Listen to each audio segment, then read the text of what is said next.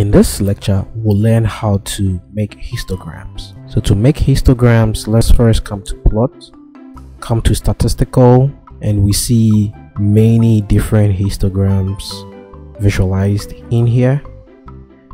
So let's just begin with, so sometimes when you put your mouse on the image, it gives you a brief. It says plot the selected Y columns as histogram.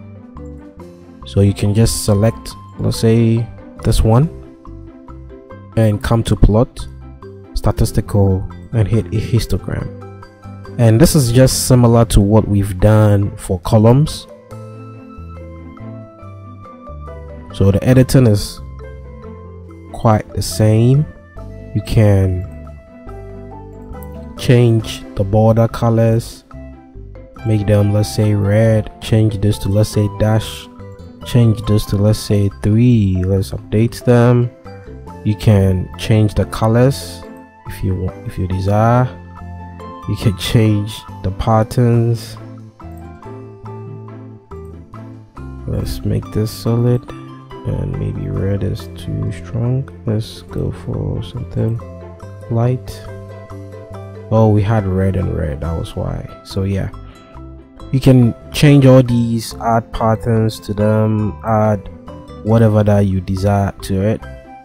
And it's just the same way of editing. You can put some spacing in between them.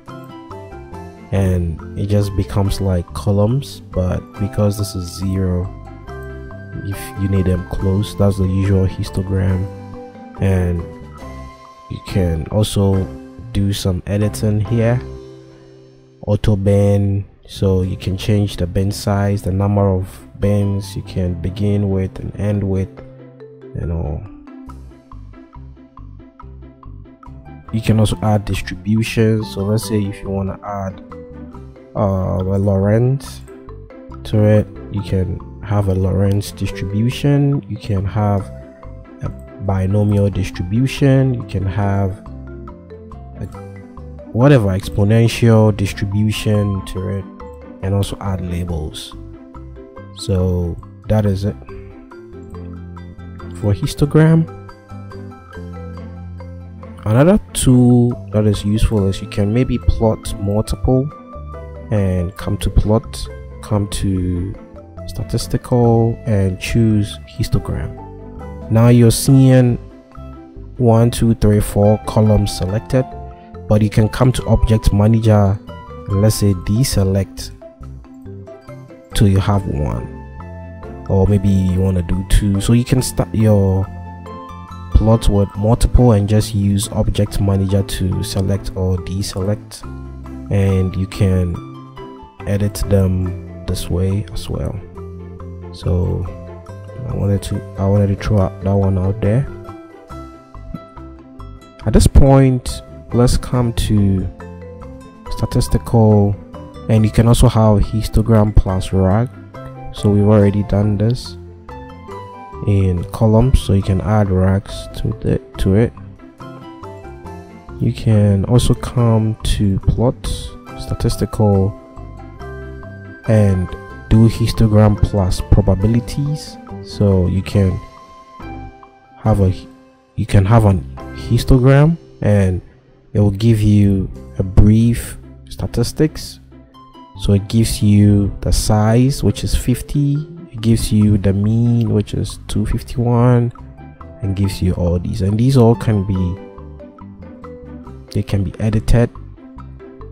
And they can all be edited in here. So you can there's a plot details but select this.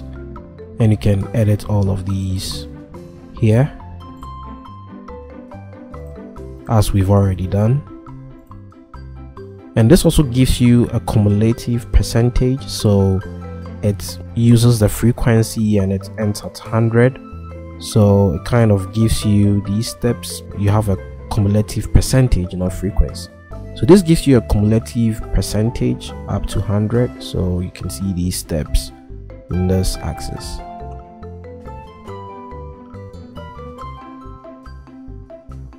let's come back to sheet one. And we can close this. Go to plot and statistical. You can also do distribution which we've already shown. So you can choose any different distribution that you need. This one is normal. You can choose whatever that you want to choose for your analysis and let's do the next one which will be statistical.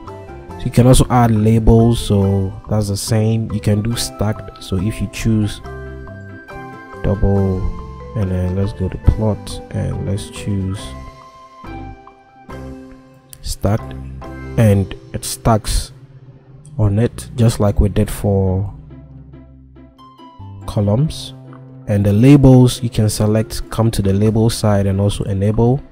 And you can add labels or just go in and plot labels with labels. We can also come again to plot to statistical and do population pyramid. So you can have this this data set is not the best to represent this but it gives you this kind of idea. And yeah you can you can try that. So okay let's let's try it this way. Let's maybe plot just a few. Come to plots and statistical and population. So yeah it gives you that you have like more population this side than the other side we can also come to plot and statistical and do marginal histograms.